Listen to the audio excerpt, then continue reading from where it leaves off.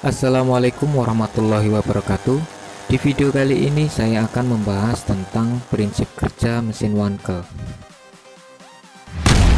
Mesin wankel atau mesin rotari adalah mesin pembakaran dalam yang digerakkan oleh tekanan yang dihasilkan dari pembakaran diubah menjadi gerakan berputar pada rotor atau torak bakar guna menggerakkan sumbu utama atau poros engkol.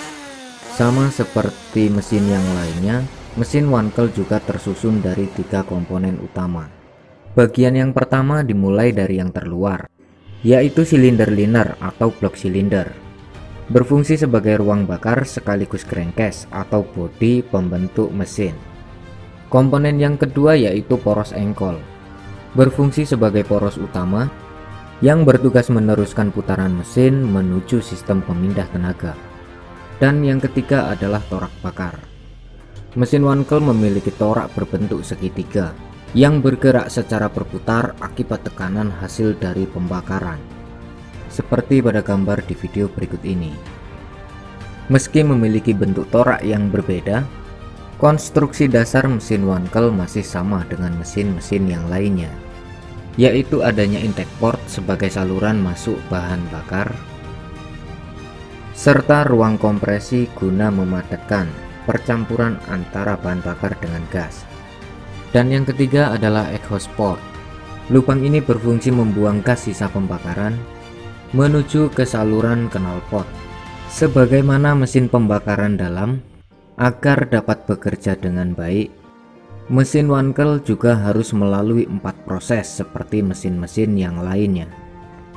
Proses awal akan dimulai dengan langkah hisap, kedua langkah kompresi, lalu ketiga langkah usaha atau tenaga, dan yang keempat atau terakhir adalah langkah buang.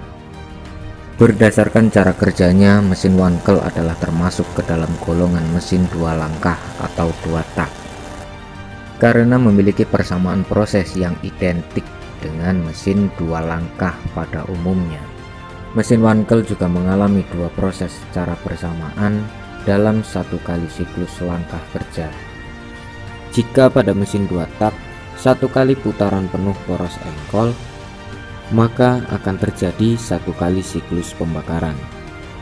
Tetapi pada mesin wankel, dalam satu kali putaran penuh poros engkol terjadi dua kali siklus pembakaran.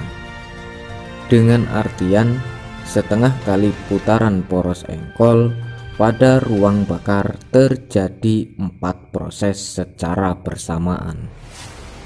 Untuk mempermudah dalam mempelajarinya, gambar di dalam video akan saya bagi menjadi empat bagian. Bagian yang pertama adalah langkah hisap, kedua langkah kompresi, ketiga langkah usaha atau tenaga, dan yang keempat adalah langkah buang. Keempat proses tersebut akan bekerja secara bersamaan dalam setiap kali setengah putaran poros engkol.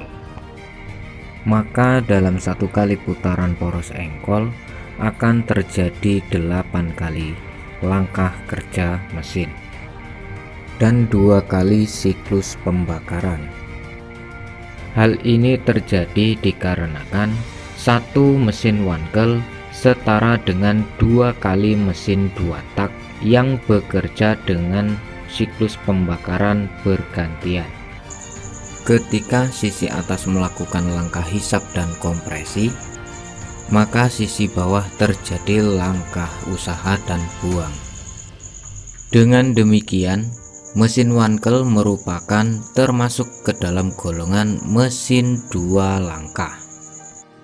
Demikian video ini saya buat, semoga bermanfaat. Saya akhiri, wassalamualaikum warahmatullahi wabarakatuh.